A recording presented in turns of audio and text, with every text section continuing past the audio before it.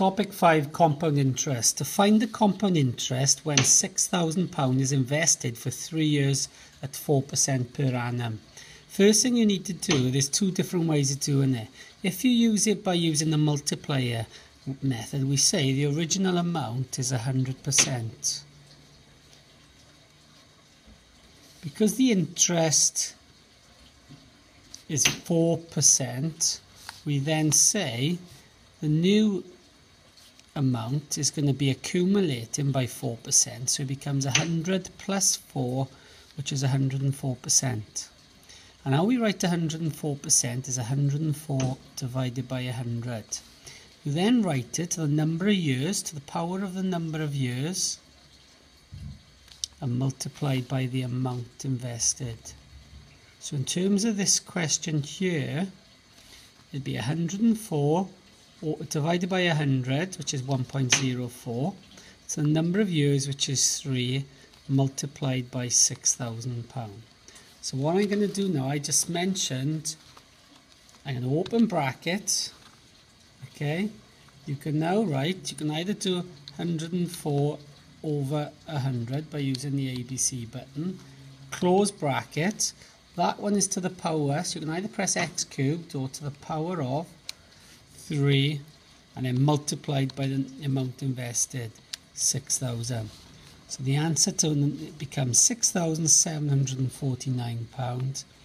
Point and it's either going to be point to the nearest penny either point 18 1 8 or point 19 pence. But because that's 4 or less we round down we keep it the lower amount so it's 6,749 pound 18 that is what the amount is worth so to work out what the actual interest is, you then, to find the compound interest, you do £6,749.18, take away your starting point, which is 6,000, so your actual interest is £749 and 18 pence.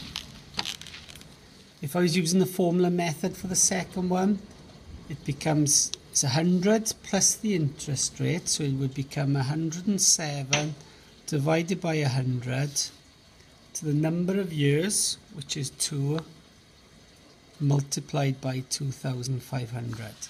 Otherwise, you can use the long method where, okay, it's going to be uh, your interest for the first year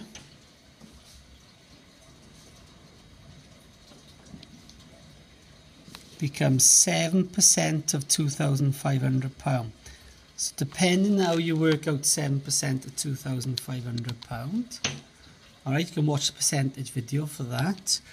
2001% would be 2,500 divided by 100, which is 25, multiplied by 7. So the first year, your interest is at £175. So after one year, we had 2,500 to start, plus the £275, you've got £2,775 in Whoops, I've copied that down wrong. It's 175. So if I add them together, it's £2,675. You now then need to work out the interest for the second year. So to work out the interest for second year, is 7% of 2,675. So to work out 7% of 2,675, I'm going to do 2,675 divided by 100 times 7, which is £187.25, which means after two years, his investment is worth 2,675 plus 187 pound 25 which equals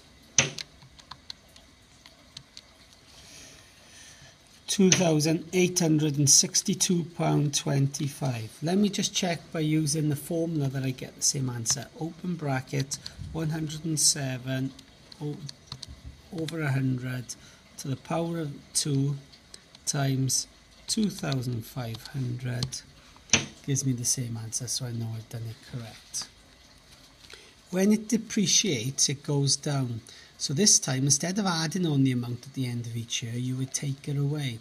If I was using this as the formula, 100% depreciates. Take away 5% is 95. So it becomes 95 divided by 100 to the power of the number of years, which from 2008, you got 2009 and then 2010, is 2, and multiplied by the original amount, 800. So if I was working this one out, your open bracket, 95 divided by 100 to the power of 2 times 800 pound and the scooter is worth 722 pound.